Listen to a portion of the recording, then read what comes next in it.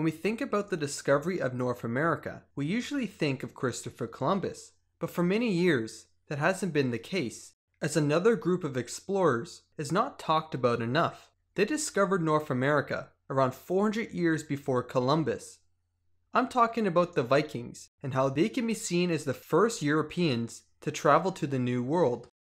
To start things off, two Icelandic tales tell the Vikings' journey to North America the Saga of the Greenlanders and the Saga of Eric the Red.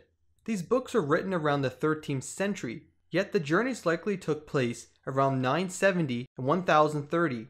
That means the books are written around 200 years or so after, so there are some issues of the tales being accurate to an extent. The Saga of the Greenlanders is considered by some historians as more reliable of the two books. It tells the account of a man named Bjarni Harjifsson, an Icelandic merchant. He was supposedly sailing to meet his father in Greenland, but was taken off course, where he found a strange land. He described the land as having small hills with many forests. Bjarni was said to have never set foot in this unknown land. The title of first known European in North America goes to Leif Erikson. But before we get into the journeys of the famous Leif Erikson, we have to talk about his father, Eric the Red, to fill in the gaps. Eric the Red was found guilty of murder and was exiled from Iceland in around 980. When Leif Erikson was just a child, Eric the Red went exploring and discovered Greenland. He traveled back to Iceland and told of this new land. He took his sons Leif, Thorvald, and Thorstein, his daughter Freydis, and many others looking for a new way of life to Greenland.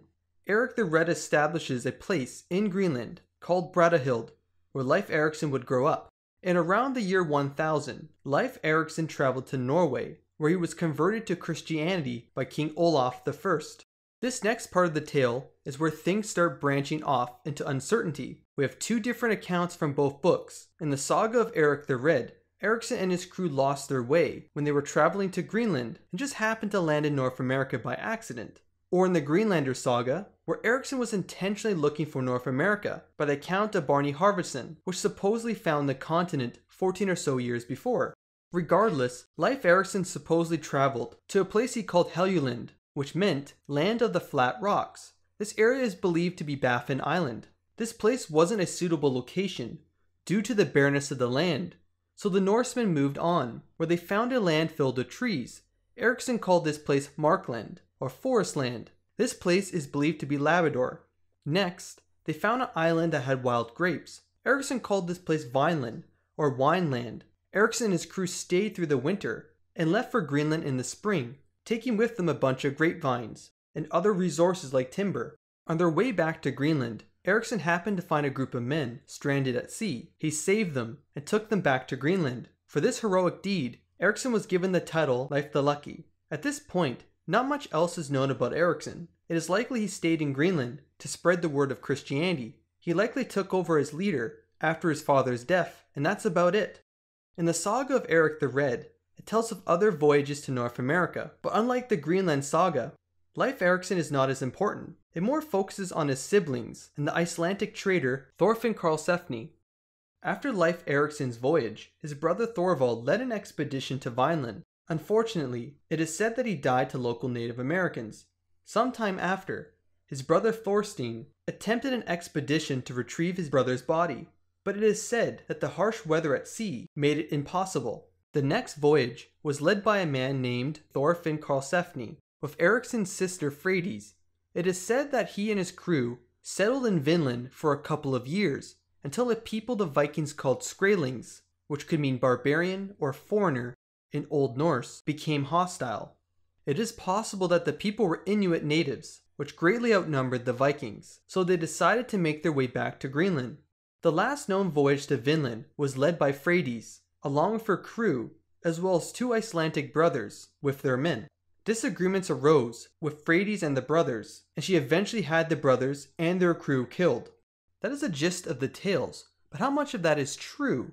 We do know for sure that the Vikings came to Newfoundland, Canada. The discovery of a Norse settlement at L'Anse aux Meadows has some interesting history involving its discovery. In 1914, William Munn, who published the newspaper, the Evening Telegram, was the first person to claim there were remnants of a Norse settlement in Newfoundland. Over the years, many others had similar theories and did some simple excavations, but it was in 1960 when Helge Ingstad and his daughter were led to grass covered mounds. Helge's wife Anne Stine Ingstad led excavation from 1961 to 1968, where they found strong evidence of a Norse settlement that could be dated to around the 11th century. At the site of L'Anse aux Meadows, eight sod structures can be identified. There were multiple longhouses with large halls and small huts, all of which were of the 10th and 11th century style, which would be consistent with the tales. Based on the space inside each building, it is estimated the population of the Norse settlement could house between 70 to 90 people. It is suggested that this settlement was a base camp for exploration and not a colony, and there is evidence that supports this idea. At the site, there were fire strikers found. They were made of jasper. What is significant about them is where they originally came from. Two strikers came from Icelandic jasper, and four out of five of the strikers from the largest building can be traced back to jasper found in Greenland. There were even fire strikers found that would have come from Notre Dame Bay on the northern coast of Newfoundland, which shows that the Vikings traveled there. Another interesting discovery was the presence of butternuts found in a bog. It turns out they are not native to Newfoundland and are found in eastern New Brunswick. Funny enough, it so happens that these butternuts are found in the same area as wild grapes and ripen around the same time in the late summer. This means the tales about the grapes adds up, as well as it shows that Vikings could have explored quite a bit. Some other artifacts found at the settlement were mostly wood objects and nails that were likely just left there. There was evidence of smithing done at the site, as there was waste matter found that would suggest iron production. A spindle wheel was found. This would show that women were also living in the settlement. All in all, how many artifacts were found and the lack of rebuilding gives us an idea that the settlement was not inhabited for a long period, maybe a decade or so. When it comes to whether the settlement at L'Anse aux Meadows is connected to Leif Erikson or Thorfinn Karlsefni, it is just too hard to say, as we would need at least a name carved into a piece of wood to prove it. But that doesn't take away from the fact that the thousand year old tales have some weight to them. I find it amazing that the ancients referred to a land of grapes, only to find a Viking settlement with wild grapes not far off. It gives credence to these legendary tales. It is one of the reasons why I love studying history. Back on topic, it's Leif Erikson Day on October 9th. It is a time to celebrate the first known European to visit North America and marks a historical moment for Nordic people everywhere. Thanks for watching. If you liked the video, make sure to leave a like and share this video. If you haven't already, subscribe for more history content and I'll see you guys in the next video.